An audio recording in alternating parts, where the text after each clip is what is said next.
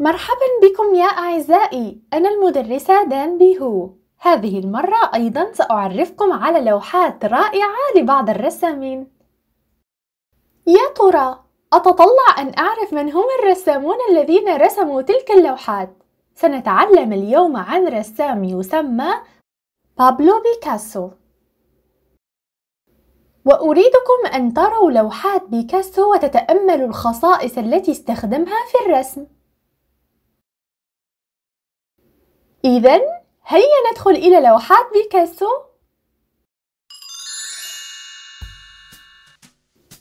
لم يرسم بيكاسو منظرا كما هو عليه لأنه كان يلتمس طرقا جديدة. نلاحظ في هذه اللوحة أن هناك ألوانا مختلفة في الوجه. كما نجد بنظرة فاحصة ألوانا متعددة مخلوطة في الشعر أم العينان. فهذه العين تنظر إلى الأمام وأما هذه العين الأخرى فتنظر إلى الجانب وأيضا الأصابع حادة وهذه اللوحة أيضا مميزة تبدو كأنها مرسومة بشكل متهور إلا أنها تعطي انطباعا لطيفا ممتعا. هذه اللوحة ليست مثل اللوحتين اللتين رأيناهما قبل قليل إنها تعطي إحساسا قويا أحد طرفي الوجه أحمر ويفتح العينين على آخرهما ترى هل ذلك بسبب دهشة من رؤية شيء ما؟ وكان يرسم هكذا باستخدام الأنماط المختلفة دون شكل واضح ولكننا ندرك أنه رسم إنسانا أليس كذلك؟ كان بيكاسو يعبر عن موضوع الرسم بالأشكال الهندسية والأنماط أيضا ماذا رسم في هذه اللوحة؟ حاولوا أن تتصوروا بحرية كأن هناك إنسانا وكأن هناك حيوان أيضا وتعطي إحساسا كأنه تم لصق أوراق مقصوصة عليها طرقه للتعبير مميزة وممتعة جدا صحيح؟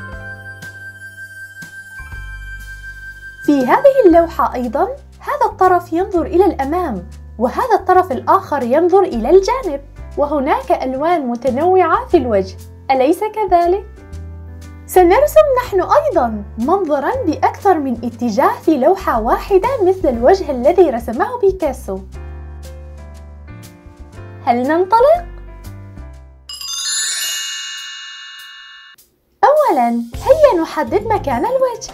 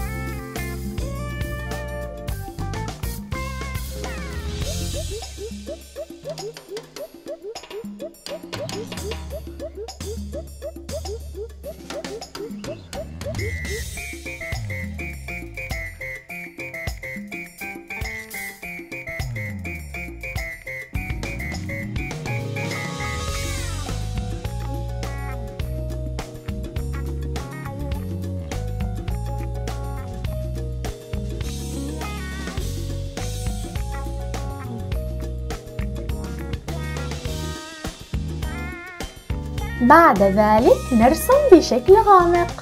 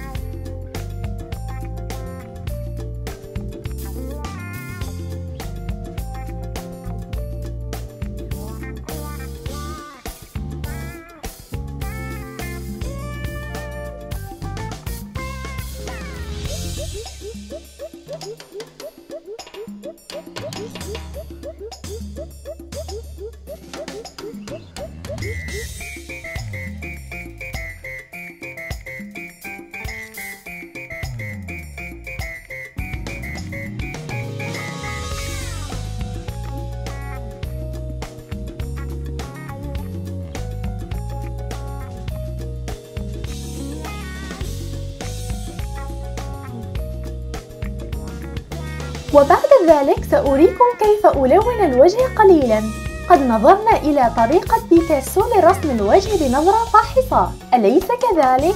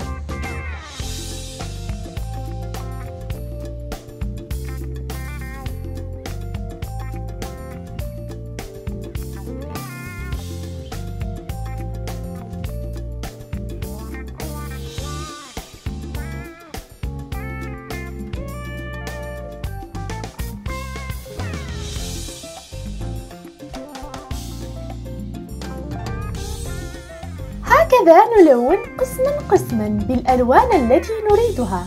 مهما يكون الشكل ليس هناك أي مشكلة.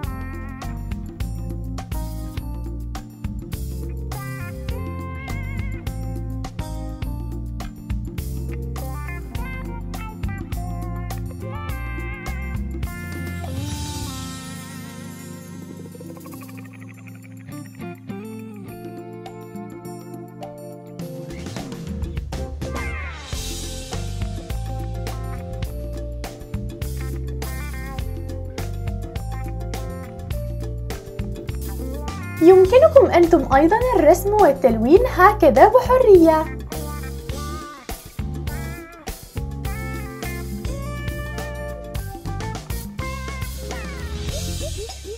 وبعد ذلك نخرج ورقة صغيرة ونرسم فيها عينين وفما حددوا أماكنها كما تريدون. بعد تحديد الأماكن بالحجم الذي تريدونه نرسم بالتفاصيل.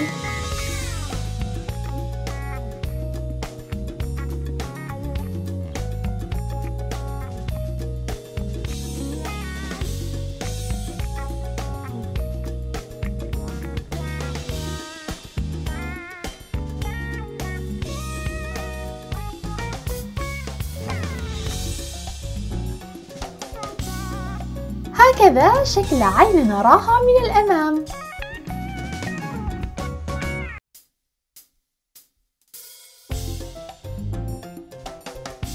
هذا شكل عين نراها من الجانب.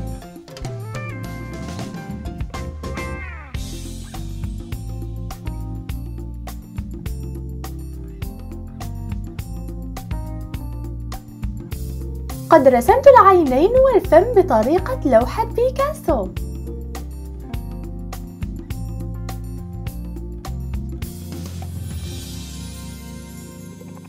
هيا ارسموا أنتم أيضا بهذه الطريقة.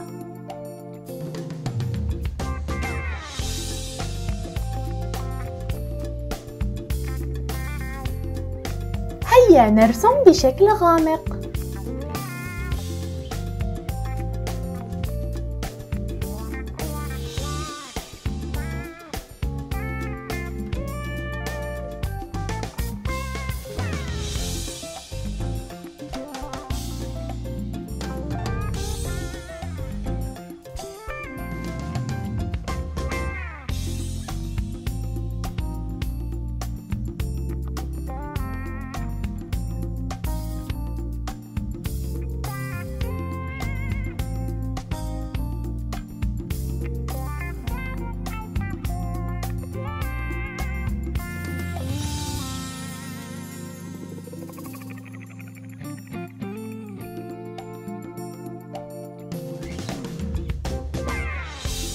وبعد ذلك نقصها بالمقص.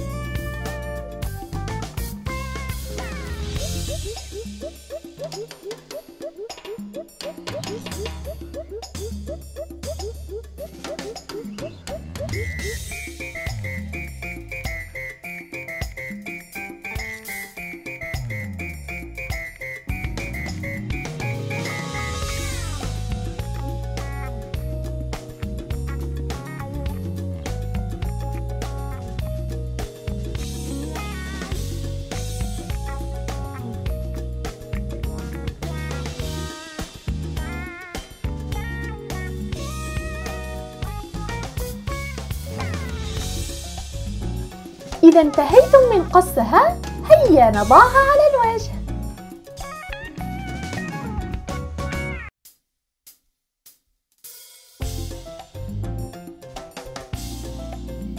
من الجيد أن تضعوا العينين في أماكن مختلفة أيضاً.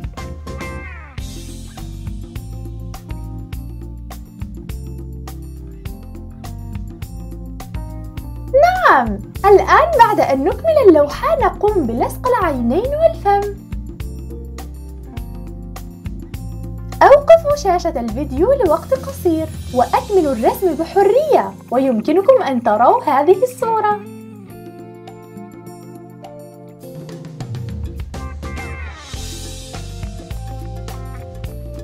نعم قد أكملت الرسم هكذا. وأنتم كيف رسمتم؟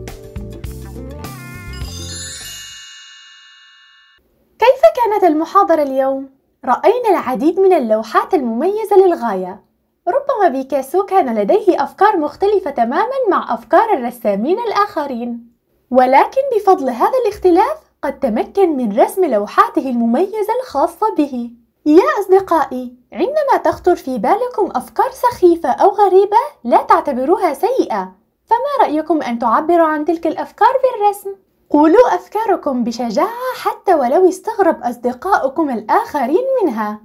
نعم إذا تطلعوا للمحاضرة القادمة أيضا. مع السلامة.